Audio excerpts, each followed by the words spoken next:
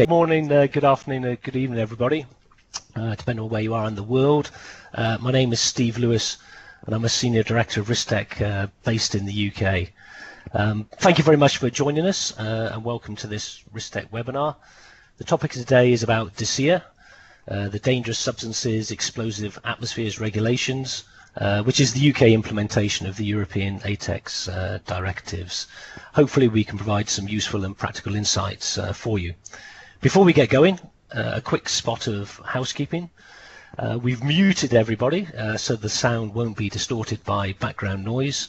if you would like to ask some questions, and we really, really do encourage you to ask some questions today, um, then please use the instant messaging function. If you just click on that little white speech bubble in the bottom left corner of your screen, type your message in. I'll keep track of these uh, and we'll aim to cover as many of those as we can at the end of the session uh, and certainly within the 30-35 minutes that we've got available uh, today. Um, for those of you who aren't familiar with uh, Risktec, just by way of very quick introduction, um, we're one of the world's leading uh, independent providers of risk and safety management solutions. It, it's all we do. Uh, we've got over 300 people worldwide across 16 offices.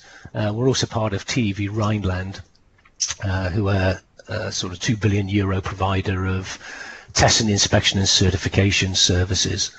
Uh, our main uh, sort of business line is uh, consulting. We offer a whole range of specialist services helping to reduce and manage risk. Uh, we also provide online and classroom training uh, and postgraduate education, including an MSc in risk and safety management. Uh, through our resourcing team, we also offer associates um, who are available to work at client locations uh, to help fill any uh, resource or sort of skill shortages. Uh, we do actually provide some in inspection integrity management services as well. and also we undertake risk and uh, sorry, we also undertake uh, research and development activities in the field of risk and safety management. So next slide, please, David. So I'd just like to quickly introduce our presenter today, David. Um, Dave is a principal engineer uh, based in our Warrington office in the UK. He joined Risktec uh, just over 13 years ago from a background in applications engineering. He's got a broad range of risk and safety management experience, covering a whole uh, set of qualitative and quantitative techniques such as hazard, hazard, bow tie analysis, consequence modeling, QRA, occupied building risk and life assessment, uh, using a variety of methods and software applications. Uh, he also has uh, a significant experience of DSEAR and ATEX compliance and assessments, uh, including hazardous area classifications and drawings uh, from a from a range of sort of hazardous sectors. So with that, I'll hand over to David. Hello. Uh, so yes, we're going to cover DSEAR and broadly touch on the ATEX regulations today. Um, I'm going to take you through a, a very quick case study to start with, um, followed by a sort of dive into the different legislations which sort of lead DSEAR uh, in the UK and how they tie back to European regulations. Um, out of that, we're going to focus on the risk assessment portion. Uh, we'll touch on hazardous area classification and also on equipment classification suitable for use within hazardous areas. So let's start with the case study. Um, so within the UK in 2015, there was a major incident at a uh, wood, fire, wood flour mill in Bosley, which is in Macclesfield in the northwest of the UK. Um, there was three explosions initiated by a dust explosion, which lifted all of the dust on the tops of all the rafters into the air, which ignited and caused another explosion in a space next to it, which moved on to another space and caused another explosion. Um, there was a number of fatalities and a number of um, injuries from this. Uh, for detail, the picture that you see on the screen at the very bottom, you can see a um, a small man riding basket, the arm of which is four meters long, just to give you an indication of quite how big the explosion was. Um, the site was completely devastated. Um, following the incident, the owner of the company and three of the managers were taken to court for corporate manslaughter um, because they didn't undertake suitable risk assessments for the site and didn't identify the probability of ignition um, at the site, the outcome being a fairly major incident. Okay, the UK and European legislation then.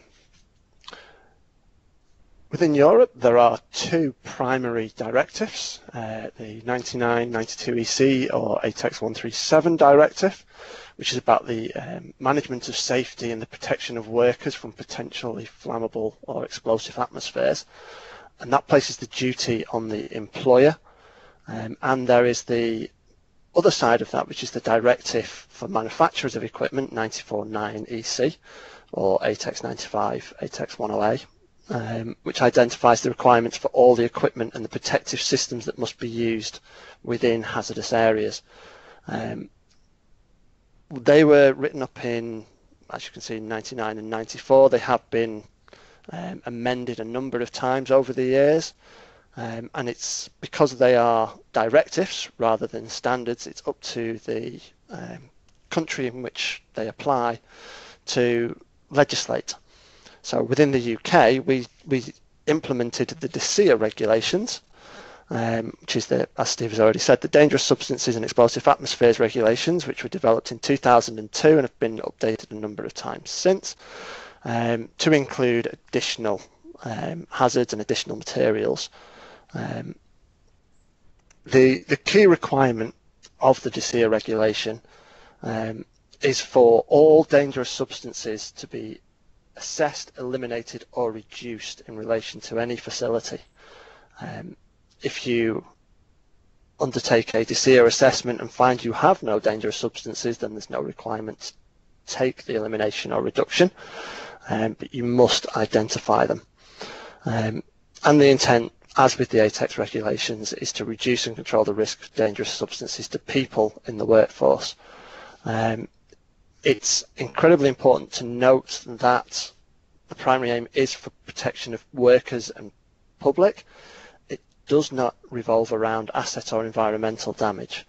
Um, obviously, dangerous substances have the potential, as we've seen from Bosley Mill, to cause massive amounts of asset damage. Um, however, if you protect the people predominantly you will end up protecting the asset as well. Um, okay, so how do we how do we use the DSEAR regulations? The regulations are very difficult to use because they are written for legal practice. Um, as such, there are a number of guides that are available to us.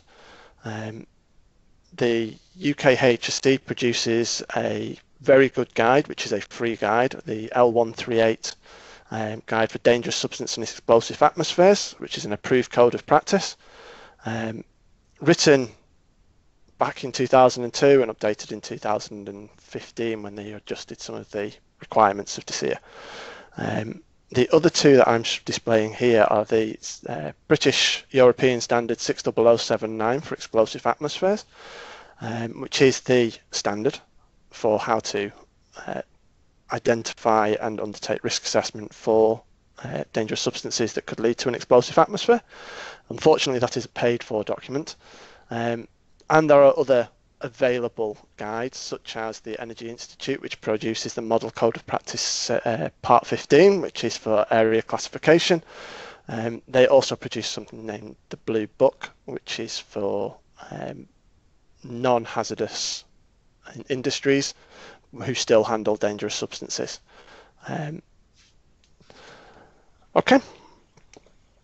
Uh, so, the predominant areas in which I want to focus today um, is the risk assessment side of the DSEAR requirements. Um, you must produce a risk assessment if you have dangerous substances at your facility. How you document that risk assessment is up to you. Um, however, there are certain things that it has to have in it. Um, so it must include an identification of all dangerous substances and all hazardous properties of those dangerous substances, um, which includes things like the flash point of the substance, the uh, auto ignition temperature.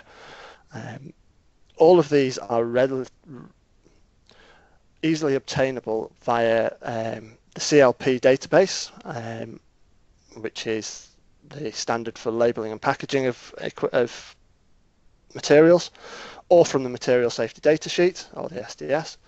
Um, the CLP has a uh, website which you can go on to to type in the chemical that you want to look up and it will give you all of the information that you need to place into a DSEAR risk assessment. Um, we must identify the circumstances of work associated with those chemicals, um, which means how they are used, but also how they are stored on the facility.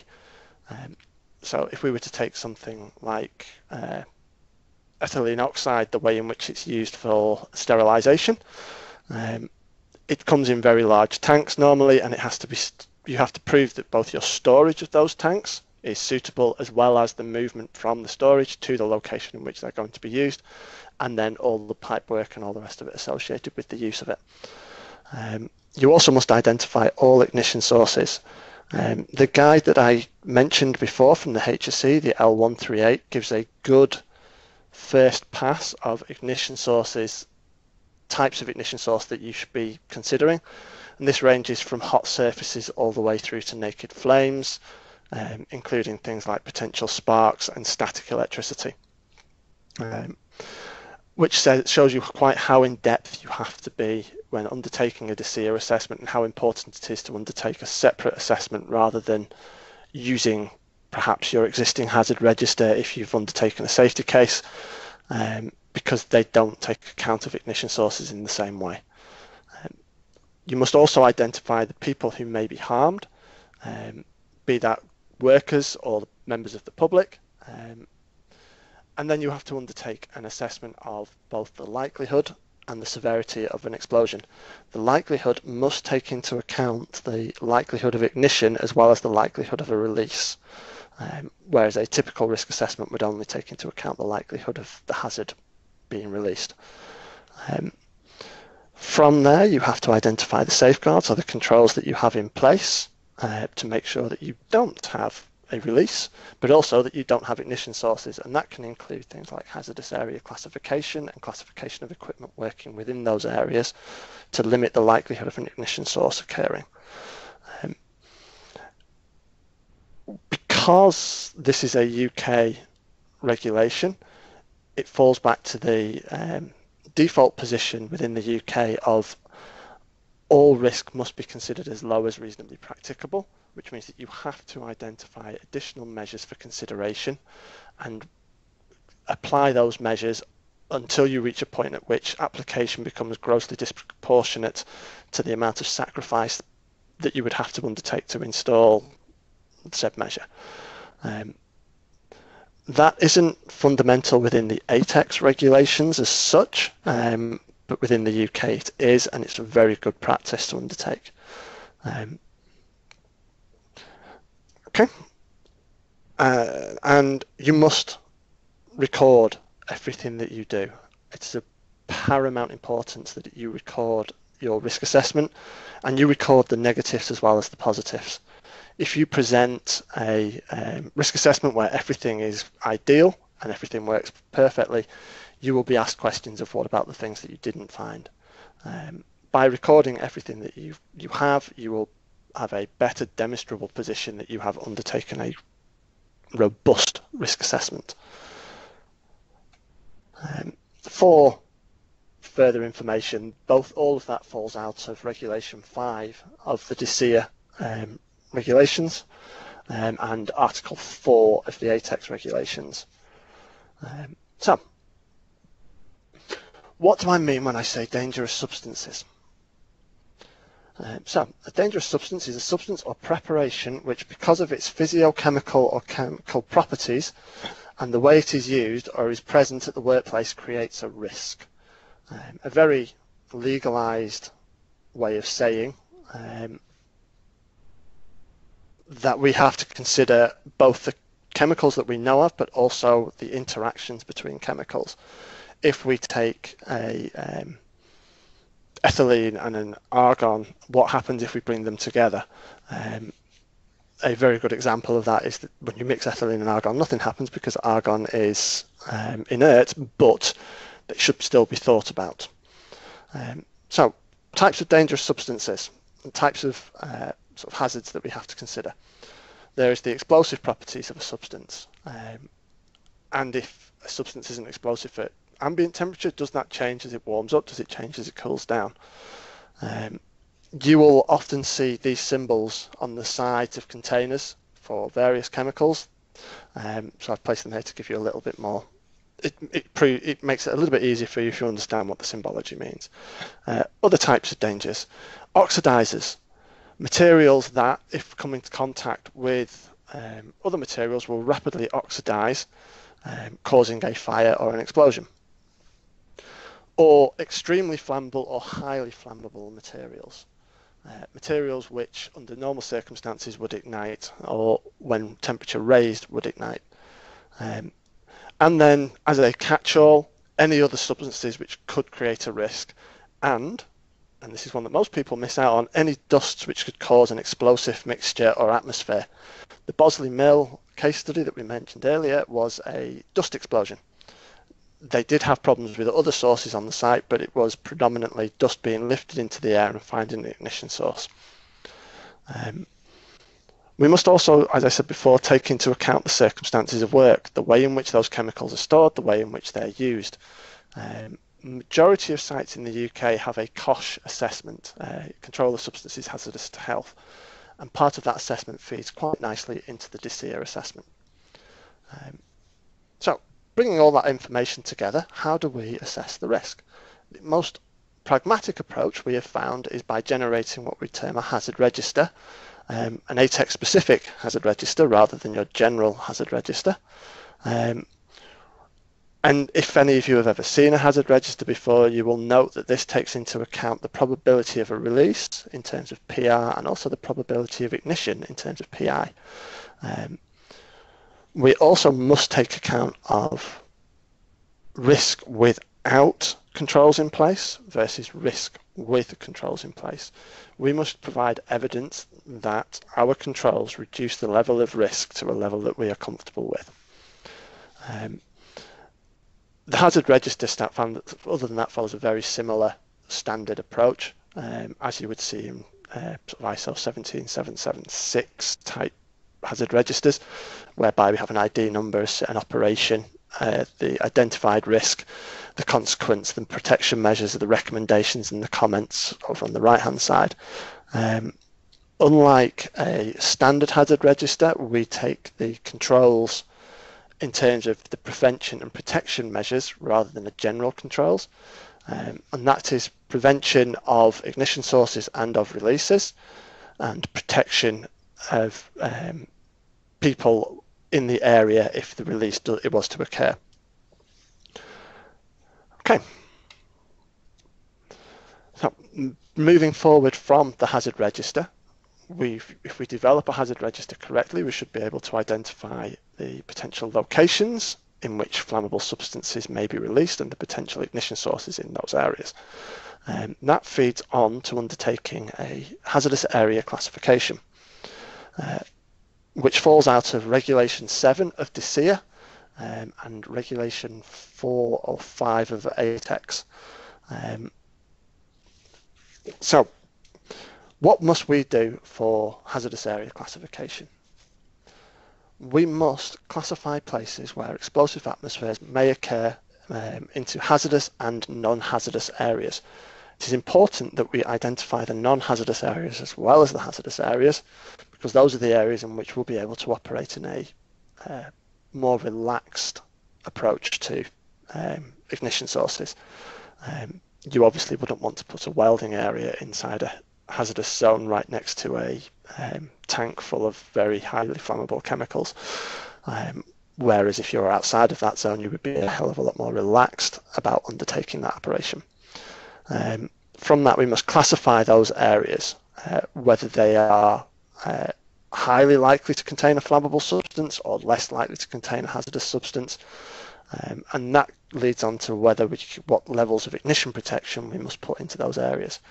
Um, once we've identified those zones and identified the levels, and I will talk about the level different types of zone in a minute, um, we need to start talking about the equipment that we will allow into those zones. Um, as of 2003, when the DSEAR regulations came out, you are expected to ensure that all new equipment placed within those zones meets the requirements of ATEX. Um, if you have legacy equipment, this is equipment that dates back to installation prior to 2003, you are allowed to undertake a risk assessment specific to that piece of equipment to prove that the possibility of release or possibility of it presenting an ignition source is as, min- as low as possible, practicable. Um, however, we are now in 2020. That equipment will be 17, 18 years old and will be expected to be at the end of its design life anyway, so we're seeing less and less of that occurring. Um, you must also, once you've identified these zones, mark the hazardous areas. People must know that they are entering a hazardous area uh, be that with signage on a door or markings on the floor that suggest that tell people that this area you cannot bring certain electrical items within. Um, the items that most people tend to carry around with them in their pocket, I'm sure we all do this, things like the mobile phone and your car keys. You never thought think of them as potential ignition sources, but you can't take them into hazardous zones. Um, we must also verify the overall explosion safety. Uh, and this is classed as DSEAR verification. This is how we make sure that our hazard assessment is correct and that the zones we have chosen meet the requirements that we'd expect them to meet. Um, and the final point on there is something that's written very specifically into the um, DSEAR regulations to ensure that all work clothing does not present an electrostatic hazard. It seems very, very specific. Um, however, walking in with your uh, polyester trousers or jacket on doesn't sound like a risk until you realize that you are building an electrical electrical charge up and you could start a fire from wearing the incorrect inappropriate clothing. Um, so how do we undertake that zoning then? Again I will excuse me I've skipped the slide uh, point you back towards the two standards uh, the BS 60079 specifically part 10 um, Part 10.1 for classification of explosive gases and Part 10.2 for classification of dusts um, gives a very good uh, technical approach for determining the size and um, type of zone that you should apply around this different equipment. Um, the other um, option is to undertake it following the Energy Institute guide. The Energy Institute guide is a little bit more pragmatic, less uh, technically focused, um, they've done a large proportion of the assessment for you. You just have to follow the right guide within there and assuming that your process is a fairly standardized process, you can pick out sizes of zones, types of zones directly from a lookup table within there. Um, and the HSE guide that I mentioned before, L138, points to either of these being acceptable. Um, the British standard was updated in 2015 um, and a number of places are still getting to grips with how to use it, whereas the um, EI 15, Part 15, fourth edition was produced before then and has become de facto um, within various industries. So what does that mean? What zones should we be applying? There are three types of zones for hazardous substances and three types of zones specific to dusts. Um, so a zone zero within hazardous gases, hazardous liquids, is any zone where a um, flammable atmosphere is present all the time. Typically, this is within storage tanks within process streams.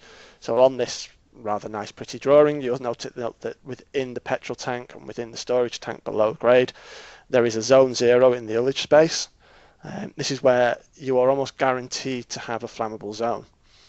Um, the next zone is a zone one, which is where you would have potential for flammable atmospheres uh, for a period of time every year, um, but still fairly likely to occur. You'll note that things like around the filling point of the tank and around the car filling point is a zone one. Um, they are zones where you still have to control the ignition sources to a certain level, um, but you are allowed to put certain pieces of equipment in. You will note that petrol pump, a uh, electronic pump is within a zone 1. It meets the requirements of ATEX for operation within a zone 1. Trying to find a pump that can operate within a zone zero is somewhat more complicated. And the last of the three zones is a zone two. This is a more generalized zone. It's typically much larger than the other two zones. And this is a zone where there is potential for a flammable atmosphere to occur, um, but it isn't typically expected. Um, so uh, normally what you will find is a zone one with a larger zone two surrounding it. Um, there is a fourth that most people forget about, which is the non-hazardous zone, the zones that are outside of the zone. And as I mentioned before, it's critical that we identify those as well, because that gives us a little bit more of a relaxed series of controls that we'd have to put into place. Okay. So how do we how do we provide evidence that we've done this? The most pragmatic approach to undertaking hazardous zones is first to produce a table of where those zones will be, but then to also produce a drawing. Um, there is a um, specific convention drawing convention for how you mark up the zones, uh, which you can see on the screen at the moment. Um, and you will note that there is a zone 0 through to zone 2 for gases and a zone 20 through to zone 22 for dusts. Um, both of them get handled in the same way. Uh, they, zone 20 is the equivalent to a zone 0, so that's a location where high volumes of dust will be occurring on a regular basis and zone 22 being the lesser of the um, zones in the same way that zone 2 was. Um, and they need to be placed onto drawings. Um, so as a, an example, these drawings are taken from the Energy Institute Part 15. Um, this is the sort of level of drawing that which the HSE in the UK would expect to see uh, from you if you present hazardous areas on drawings. Um, so you will note that there is a, um, as with the other drawing, a zone 1 surrounding the uh, car filling point with a longer zone 2 surrounding the hose on an extended run. And the same for over on the left hand side, there is a zone 1 surrounding the outlet from the tanker and a zone 1 surround a zone one surrounding in the vent from the tank where these are locations where we would predominantly expect uh, flammable substance to occur and then a wider zone 2 stretching out away from the tank. Um, the calculations within EI15 and BS 60079 can be used to determine the size of those zones. Um, and as I mentioned before, the EI15 approach is a little bit more pragmatic um, for undertaking hazardous zone calculations. Um, so the other thing that we need to produce is termed a LEAC table or a list of equipment for hazardous area classification. Um, much like our hazard register, there is a uh, not necessarily a defined way of doing it, but one that has become an industry norm, um, which is you, what we have presented here, uh, which presents the source of release, which must include the area, uh, description of the source of release and the grade of release, there are three types of grade, and the grade typically applies to the type of zone that ends up being applied. A uh, continuous, a primary, and a secondary. Continuous linking to a zone 0, a primary usually linking to a zone 1, and a secondary usually linking to a zone 2. Um, we must describe the flammable material that could be released. In this case, we're talking about diesel, um, which until I'm going to say fairly recently, but it's more like five years ago, wasn't classified as a flammable material. They then reassessed the classification from materials and brought the temperature down, which brought diesel into something that we have to consider within DSEAR. Um, and you will note that we have to take into account the operating temperatures and the pressures and the state of that liquid. Um, diesel at ambient temperature, ambient pressure, or low pressure is unlikely to cause a flammable atmosphere. However, as soon as you start warming it up, or you increase the pressure such that it could cause a mist, it becomes more of a um, concern as far as flammable atmospheres is. Um, we also have to consider the ventilation in the area, um, whether it's a decent amount of ventilation or if it's in a contained box or hidden away somewhere will make a difference to the type of zone that we have to apply. Um, and then we can start talking about the hazardous area and what sort of reference we're using. So you'll note on the screen that all of this is done through EI15, which suggests no hazardous area for that temperature um, and pressure for diesel. Um, that all leads on to the type of gas group or temperature class, which is the equipment classification um, that we must consider. Um, which leads me quite nicely on to the last of set, last set of my slides, which is the equipment classification. Um, this is the other side of the ATEX directive. This is the manufacturer's requirements um, to ensure that the equipment that they um, install is suitable for use in that zone. Um, so you will often see a plate that looks very similar to this um, on the side of equipment.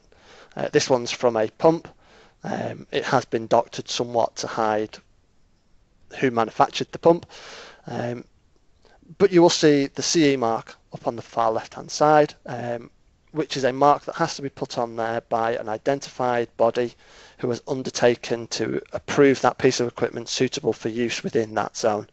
Um, as it happens, TÜV Rheinland are one of the companies that can undertake that asset. So if you ever see 0035, it's TÜV that has done it. Um, that number is different for different people. DNV has a similar sort of thing. I think their number is 4065.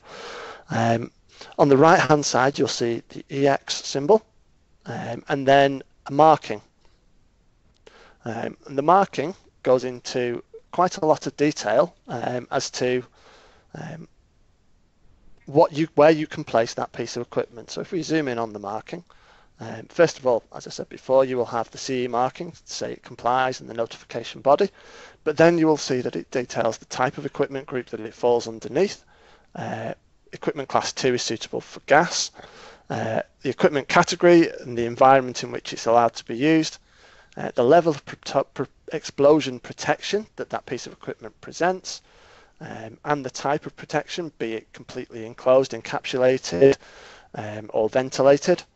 Uh, the gas group, which is the um, gas that it's allowed to operate uh, within. Uh, so 2C is a fairly um, high level explosive gas, so it, I think 2C can operate within hydrogen. Uh, the temperature class, so the ignition temperature range in which it's allowed to operate, and finally the equipment protection level. Um, there are tables available out there that will explain about what each of those elements are if you want to dig into what your equipment is actually rated for. Um, so, as a summary, DSEAR is the UK implementation of the European H uh, ATEX directives. Um, it doesn't exactly marry to the ATEX directive. However, it has taken the key elements and brought them into a UK specific regulation. Um, other countries have their own versions of this. Um, Ireland works underneath a, a specific ATEX implementation. Um, and they call it, they continue to call it ATEX. Uh, it requires a company to identify all hazardous substances it has at its facility and the ignition sources and to conduct a risk assessment of those substances and ignition sources.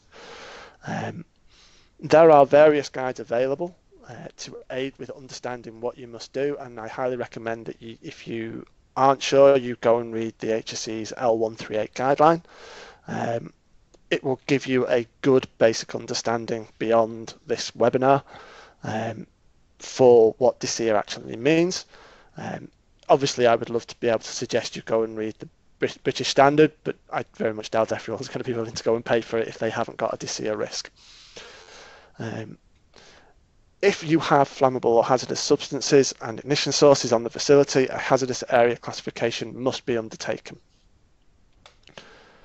Um, and equipment that is used in those areas um, must meet the requirements of ATEX and be marked as such. Um, it is imperative that the markings remain on the equipment as a verification activity can be conducted whereby walking around site and looking at all pieces of equipment to make sure that they meet the requirements. Um, and the primary aim of DSEAR is at the end of the day to ensure the safety of people who may be at risk from hazardous substances. And again, I'll say people is the primary word within that statement. It is not targeted towards asset or environmental damage.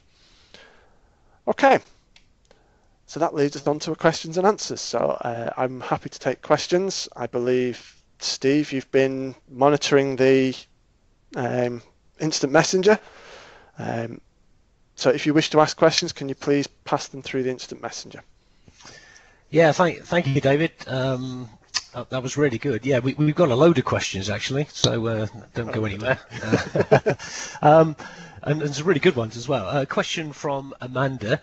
Um, can we demonstrate compliance with DSEAR if we don't totally follow British Standard 679? Oh, yes. Uh, obviously, if you decide to follow the EI route for hazardous area classification, um, you can, but it's a very difficult path to tread, and I would suggest you would be far better following the guidance in 60079 as opposed to working against it. Okay, thanks, David. Um, question from uh, Jag. I think this was quite early on um, when we you first mentioned dangerous substances. So he asks, dangerous substances, substances, is that with respect only to explosive events or also all chemotoxic hazards? So is DSEAR really about so uh, as the, as the sorry yeah, uh, as, as, the uh, name of the um, regulation implies, it's really intended to, to, to target flammable and explosive atmospheres. Um, rather than occupational health risks from uh, interactions with chemicals whereby uh, long-term health effects. Yeah, great, thank you. Um, from question from Eric. Um, again, I think this came in just before the slide where you, uh, the relevant slide. It says no mention of SDSs. So is that the uh, safety data sheet? Safety data sheet.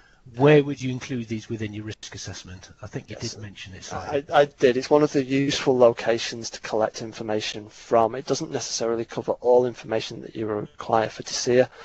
Um, it's very rare to find an SDS that talks about the auto ignition temperature um, or the minimum ignition temperature of a chemical.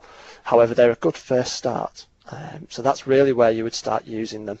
Um, and because DSEAR ties in with the COSHH regulations as well as mentioned, your, your SDS sheets are far more likely to appear in the COSHH regulations. Okay, great. Um, this was Amanda's favourite question. Uh, the 2015 amendment includes gases under pressure mm-hmm. and corrosive substances within the DSEAR scope. How are these being addressed in the DSEAR risk assessment and other DSEAR requirements? Um, so as with any of the chemicals which we were talking about within DSEAR, they have to be um, identified and then assessed through the hazard identification as to what risks, what uh, hazards they present, um, what the sources are, and what the controls are that you have in place. Um, they are handled in exactly the same way as flammable um, substances. Um, the corrosive is specific is more to do with the interaction between um, non non-flammable chemicals and flammable chemicals, resulting in um, a bigger bang for your buck, shall we say? Another question from Jag. Um, to what reasonable extent should fault cases be considered as part of the identification? Sorry, could you repeat that, Steve? Yeah. Uh, to what reasonable extent should fault cases be considered as part of as part of identification? Okay, I'm a little bit unsure by the term fault cases there, yeah. but I would assume you mean what level of failure do we have to consider? Do we go from uh, to, all the way to a catastrophic failure, um, or are we talking more um, general, smaller leaks? Um, DSEAR typically targets the um, smaller levels of release. The catastrophic full bore rupture resulting in a major fire is normally handled through within the UK the COMAH regulations, um, whereas DSEAR is more of the smaller releases that wouldn't necessarily meet the COMAH requirements but still present a hazard. And I think the next question is, is kind of related to that, I think, um, from Eric. A hazard log should include a detailed accident or event sequence, uh, which seems to be missing from our hazard register slide. Uh, is this on purpose for DSEAR? Um, also, the consequence should provide the final outcome, which normally would be um, death. Uh, yes. Um, the the range of consequences and the range of hazards. Uh, I gave you a very short snippet of a hazard register there. Um, I have to be careful how much I can hand over, obviously. Um, but that that that hazard register had uh, a further 140 odd lines on there, um, ranging from the minor releases that just went pop all the way through to the killing people consequence levels. Um, the hazard it's not a hazard log as such; it's a hazard register. Um, so it doesn't need quite as much of a detailed level of assessment all the way back to root cause of why the hazard would be realised. Um, typically, the hazard for DSEAR is the flammable substance. Uh, uh, yeah. yeah. yeah, Thanks, thanks, Dave. Um, yeah, we'll keep going. We've got plenty of questions. I guess time's, time's pushing on, but we'll just try and crack. There's still yep. plenty of people online, so we'll just keep going. Um, from Vinod, uh, it might be advisable to use the term unclassified rather than non-hazardous. True. There is, there's uh, always a risk anywhere, and nothing should really be called non-hazardous. I agree on the general terms that there is no such thing as a non-hazardous location. Um, the term non-hazardous in terms of DSEAR means an area in which you cannot get any flammable materials released, um, such as a bike park on the corner of a uh, site where there are no flammable materials anywhere near it. Um, but by all means, unclassified is a more than acceptable term to use. Um, question from Mackenzie. In risk assessment, should one consider a closed drain system for hard hydrocarbons, which is only used periodically um, for maintenance and is obviously is closed. So there are normally closed valves. Okay, so there would be a potential for a zone two within that area. Uh, I don't know the facility or the uh, process, um, but if you are opening up that area to um, flammable materials, you would have to consider it as part of your DSEAR assessment. A question from uh, Hong Seng. Uh, for carrying out non-hot work, mechanical overhaul work inside an ATEX Zone 2, is there a mandatory requirement for personnel to be trained? Uh, only as far as maintenance go, uh, activities go in terms of training, um, but within a zone, you would have to undertake a risk assessment to ensure that there are no potential for flammables or for ignition sources within that zone. Uh, specific um, ignition sources I'd be concerned of are things like um, static electricity or sparks from tools um, once whilst working within that zone. Okay, uh, a question from Chioke. I understand there's a relationship between the grade of release, which I think you mentioned in the um, mm-hmm. uh, in one of the slides, yeah, yeah, uh, and the hazardous zone. Are there any deviations to this? Yes, there are always things that break the rules, I'm afraid. um, typically, a continuous release results in a zone zero. A primary release, which is a release that happens on a routine basis, would be zone one, and a uh, secondary grade release would typically result in a zone two. However, things like vent stacks, which would not normally be considered as a um, second a primary grade of release and quite often would be considered as a secondary grade of release if dependent on where they're venting from may still result in a zone one a smaller zone one surrounding them um, to ensure that the potential for a flammable material going up the vent is considered Question from Jag. Um, is it still acceptable to use uh, British Standard 679 2009 uh, because he believes the forward in the 2015 standard is quite contentious. yes, it is. they they um, they redid the way in which you identify hazardous areas and the calculation that you have to undertake to develop hazardous areas in the 2015 version, um, and it hasn't yet been accepted by a numerous industry bodies. Um, I would personally push you towards using EI Part 15 if you can, so the Energy Institute Model Code of Safe Practice, um, purely because I find it a far more pragmatic approach. Um, however, if you are stuck using the 2009 version, I would suggest that you uh, ensure that you have a robust argument for why you use it. Uh, very good. And um, Vinod agrees with you about using the uh, Institute's uh, Part 15 Code of Practice. Um, Most people as, do. as does Chioke. Um, a question from uh, Jason. Put your crystal ball hat on here. What will happen to DSEAR post Brexit? This is a very good question and something that we are investigating at the moment. Um, the biggest problem is equipment classification for use in hazardous areas, which at the moment is a European standard. When we leave Europe, Europe uh, we will no longer be able to apply the same standard because we are no longer part of the European Union. Um, this means that there will be um, verification bodies that will have to change the way in which they classify equipment. Um, at the moment, I'm afraid not. It's a no one knows question, unfortunately. Um, okay. I wouldn't want to lead the witness, so to speak. yes. Um, uh, question from Amanda regarding non-electrical equipment, uh, which follows the British standard uh, 879 instead of 679. Yep. What are the equipment certification and marking requirements, uh, if you know that? Um, I would have to go and look at the standard at, the, that point um, to make sure that I give you the right information. Um, they still have to be rated for use within ATEX zones, um, but I couldn't tell you what the markings have to look like for non-electrical equipment.